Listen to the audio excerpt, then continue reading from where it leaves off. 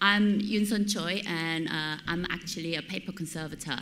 And uh, this is my first um, museum librarian and archivist group conference. Um, so I've never really spoken to library, librarian and archivist in group. Um, so normally my uh, audiences are conservators, so gentle with me. First of all, thank you very much for the opportunity to talk to you. Um, I'll be talking to you about our experience of digitizing library and archive materials and producing a guideline based on our experience, especially from a conservation point of view. So, introduction. Um, I'll be talking a little bit about the background, what our project scope was, and the funding body, and uh, what we digitized. Um, if you want to see more about our project, our project team is set up upstairs, and uh, they do have more information. And um, poster is also presented. Um, current approach to digitization. Um, I will put this paper into context and discuss the digitization model we followed and why we chose a particular model. Um, the library and archive collection, obviously our collections are unique and different from any other library and archive collections, but you will all say that. And we will see some of the items we have digitized. Um, and the reality, um, this paper is all about exploration of our digitization journey we have faced and uh, conservation. And this is the area that I have supported within Tate Digitization Project and where my guideline is based. And the digitization project for the artist material. Um, after completion of the conservation side of our digitization project, um, we obviously needed to produce the document um, as to what we have learned and how we, how the project evolved, uh, to ensure that next time we do the same project, we have something to follow and that we don't make the same mistakes again. Um, I would like to emphasize at this point that this paper is more about the journey to produce the guideline rather than actual guidelines. So the background. This is the Tate Library and the archive. Um, Tate Library and Archive collection houses some of the most unique material in the world. Some personal documents of important artists, such as Keith Vaughan, um, Barbara Hepworth, uh, Nicholson, Cecil Collins, Rodney, Picasso, um, and many more. Um, we also house artist study materials, such as their sketchbooks, their artistic plan, and some are three-dimensional, some are glass plate, some are just simple, small drawings and negatives. And, and I've also seen the clump of hair, so our collections really does vary. Um, the collection we house are unique, and you will not find similar items in anywhere in the world. And the important point I would like to make is that they are in a very different, uh, challenging format, very different condition and challenging format. The bid for the funding uh, for digitization uh, to uh, to Tate um, began in, I think, year 2011-12, and it was successful. We have received Heritage Lottery Fund to carry out the project, and the conservation side of the digitization, project started in May year 2013 and completed in March year 2015. Uh, 52,000 items were selected for the digitization project, and these items were not fully catalogued uh, when we chose them for the digitization. Um, this presented slightly difficulty in establishing intelligent conservation estimation prior to the project, and it was largely unknown exactly what we had and condition they were in, and making future plans slightly challenging. So current approach to digitization. Um, when we started our project, we've looked at two models. Uh, the British Library's Qatar Digitization Project and the National Archives Digitization Project. Uh, both projects were mass digitization projects we knew in the UK, and they looked impressive as they were well planned and set up. As far as we could see, these two projects were, had um, the most compre comprehensive published uh, guidelines which was also available to us. And we established, we especially like the way the British Library project was set up and planned. Um, we, have the, we have visited the British Library and saw the whole project, and we also reviewed their digitization procedure, and it was methodical and logical.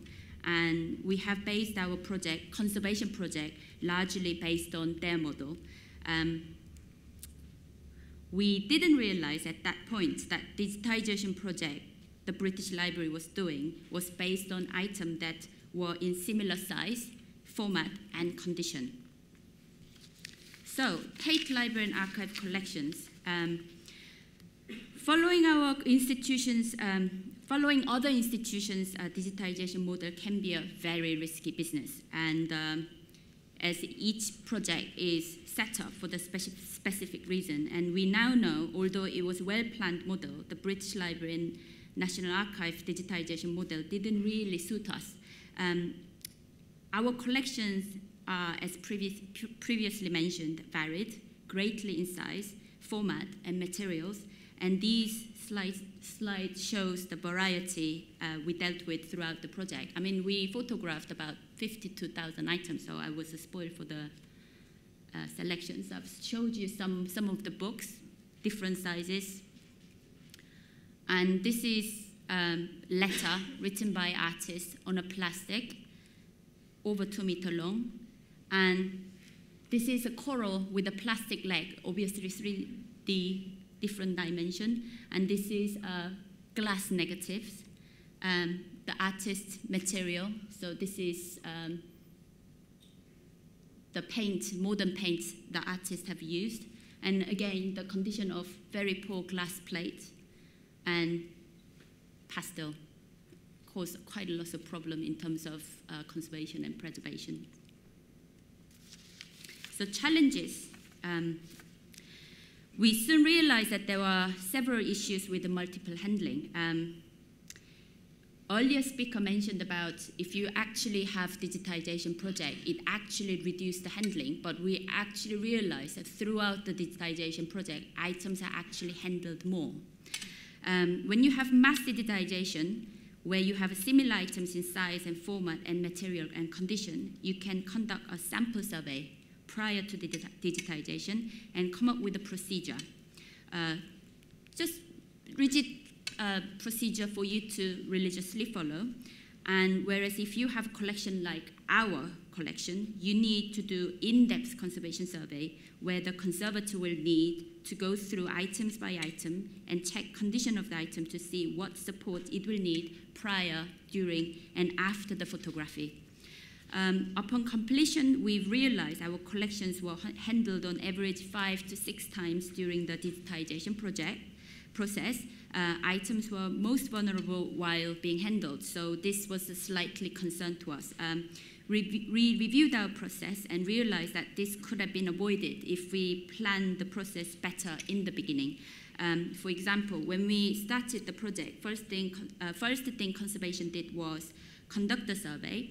We went through each items and produced a survey, um, survey spreadsheet for us to go back to.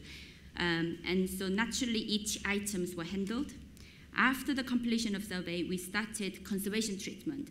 Uh, so naturally each items were um, called and archive, archive team will go through their items and as most of our items are placed in a one small box, um, if you're actually calling a particular item, you have to go through each item to collect the item that you need. So that actually increased the handling.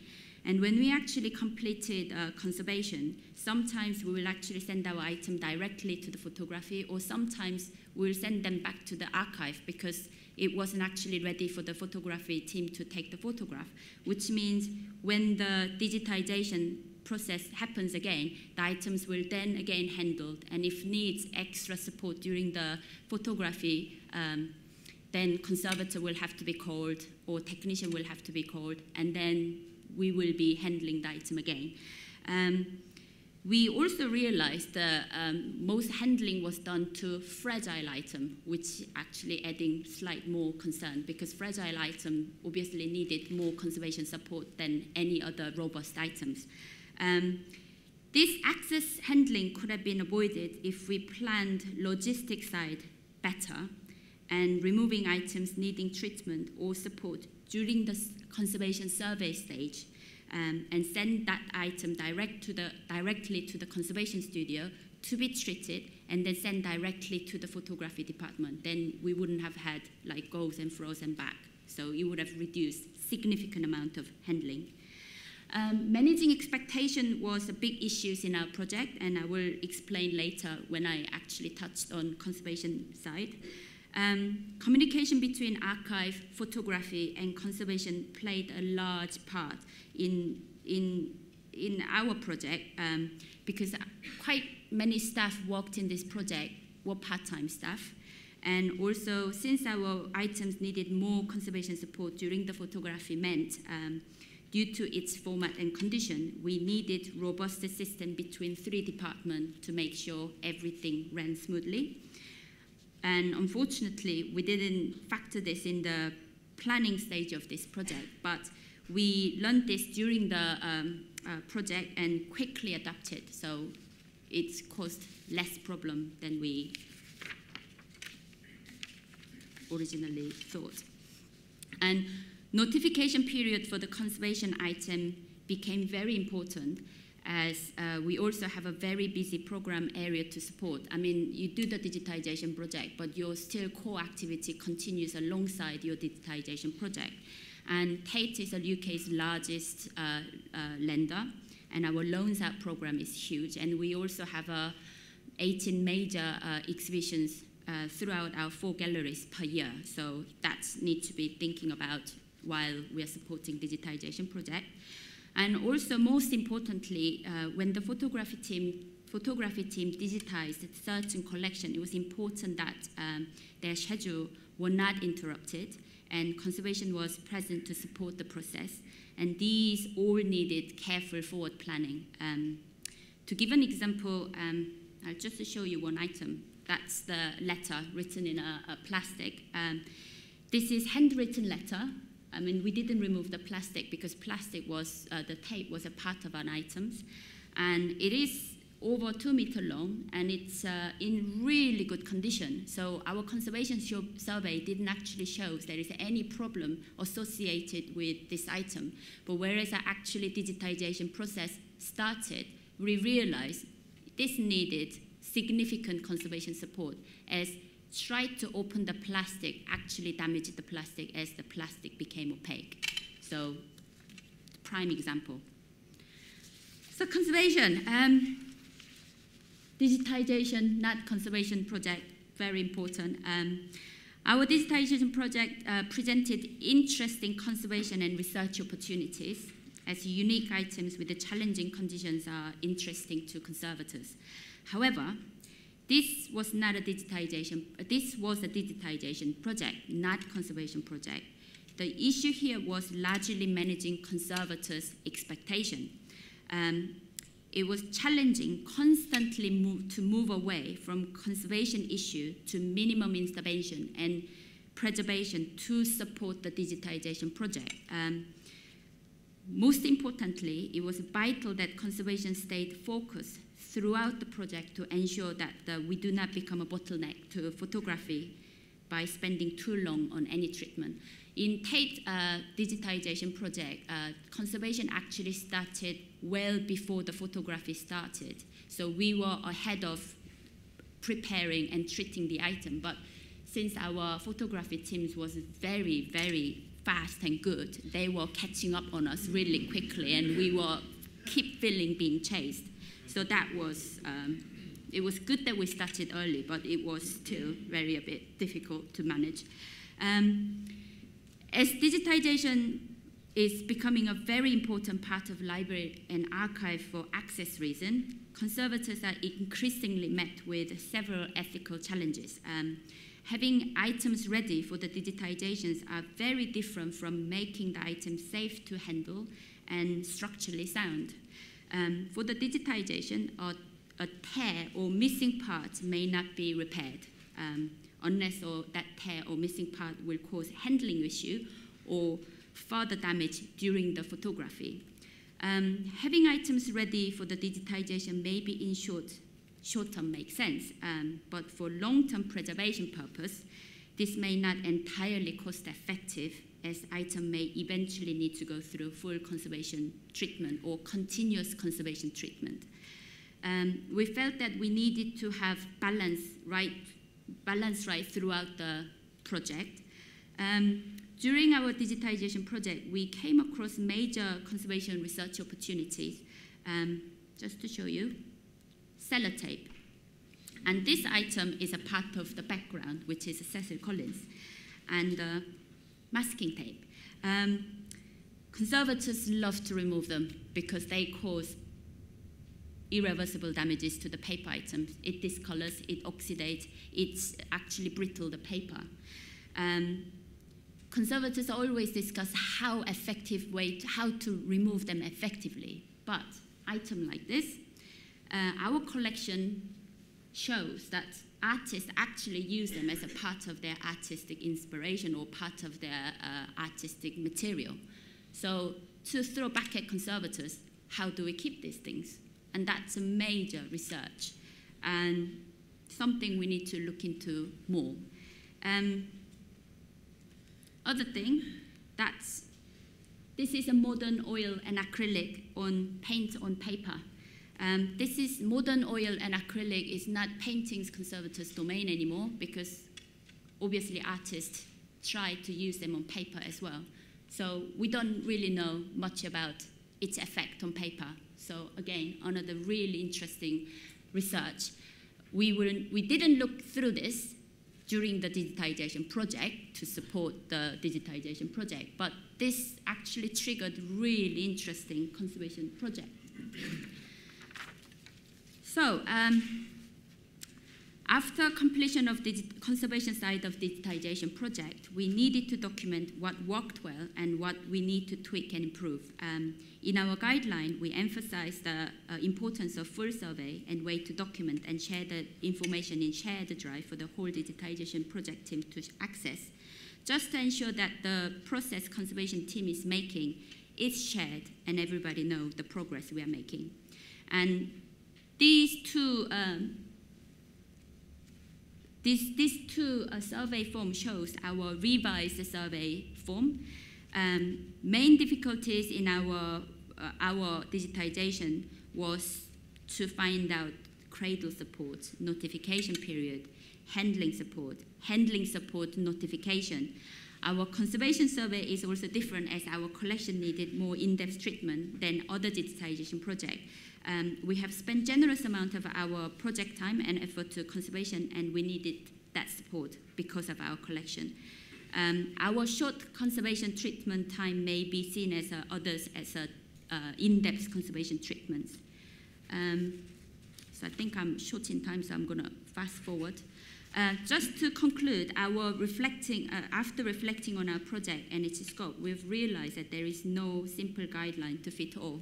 Even though some looked impressive and logical, we realized that the reason why our project was successful, although there are lots of learning and mistakes, it was because our ability to adapt quickly and evolve. Um, not to mention our amazing project team and the project manager. Um, possibly the most important lesson we've learned from our project is to share the experience for the future project because when we were looking for a, a guideline, we didn't see many of them. Thank you very much.